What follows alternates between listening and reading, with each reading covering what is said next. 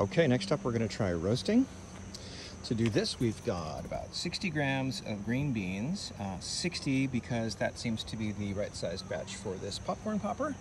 Uh, this is the Bella brand. We got it at Macy's from Kukui Grove. Shout out Kukui Grove. I've got my cal colander to uh, kind of toss and cool things down in. You don't want to let them sit when they're hot, otherwise they just keep roasting. Finally, I've got a timer here. Um, not going to be too ironclad on the timing. I think I'm probably going to pull it around three minutes, and we're going to listen for first crack, just a nice loud popcorn popping sound around 145. All right, here we go. Just to come up the timer a bit. Beans go in.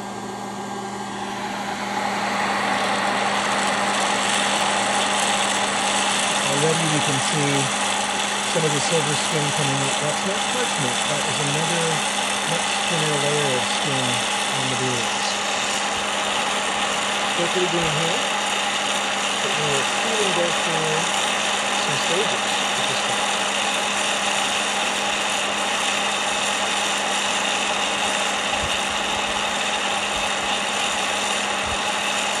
What we're seeing come out of here is really, really lightweight, of chalky stuff. Um, if you didn't hand groom all your green beans, you probably get a lot more of this. So this is why you do this top. Because this stuff comes up and goes all over the place. It, it's very messy. How are we doing here? At uh, almost one minute. Notice a couple of the beans have turned light brown in general, I'm seeing a more yellow sort of color to it. Definitely light brown now. It's an air popper, so it's spinning around. The, the air is uh, spinning everything around and sort of agitating it from the bottom. You don't really need to shake it, but I just like to shake it. We're at 128, 130, minute and a half right now, so we should be hearing first crack pretty soon.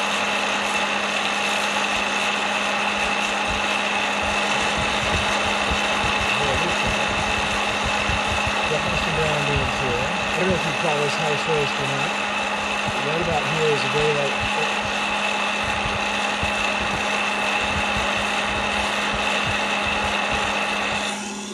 Coming up on two minutes.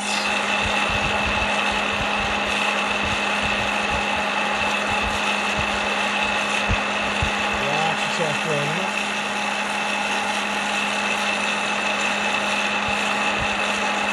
Oh, here it is. So right at 214, 215.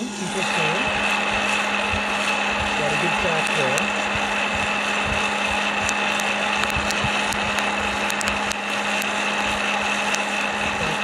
That might be what they call second crack, I'm not sure. It was first crack and second crack. I don't know what that means I definitely hear it happen. It's pumping up. You see that? The volume's increasing.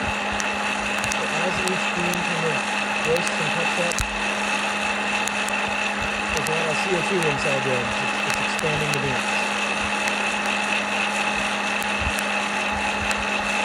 A lot of my chaff is landing in my colander, course.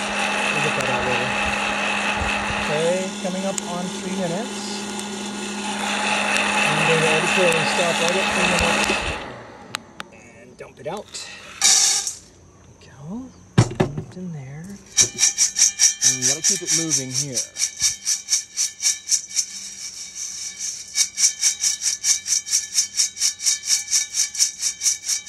I want this to cool evenly.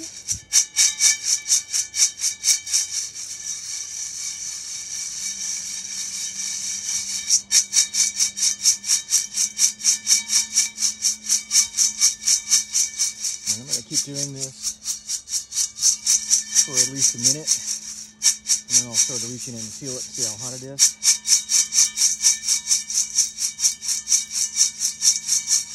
What we don't want is a pile of beans with a hot center. Because I'll just keep roasting and roasting and roasting.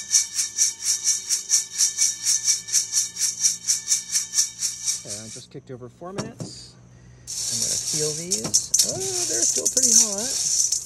We got a good, pretty good lightish kind of roast here. You can see some light ones and some dark ones. I don't see any like dark black ones. I don't see any greasy ones. So this is a nice light roast.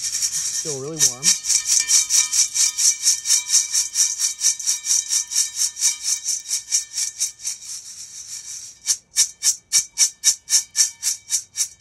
Sorry, that's probably obnoxiously loud. Sorry about that.